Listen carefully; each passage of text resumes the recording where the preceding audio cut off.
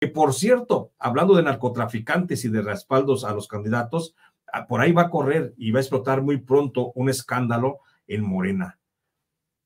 A Mario Delgado se le asocia con el líder guachicolero de apellido Carmona, que financió la campaña de candidatos a gubernaturas de Morena, como fue Sinaloa, Nayarit y Tamaulipas. Por ahí viene una investigación fuerte y de ahí ni cómo le digan que no.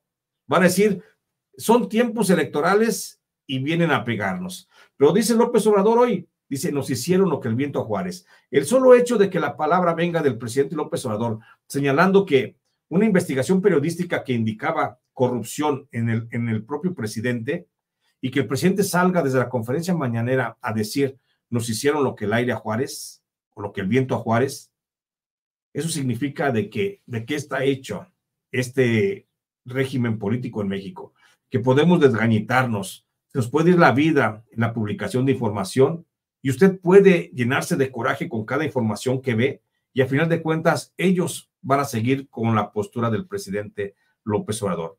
Nos hacen lo que el aire a Juárez. Así como se va a poder, así como chingados, así desalientan, por supuesto, a seguir trabajando, pues tenemos que seguir haciendo el trabajo informativo.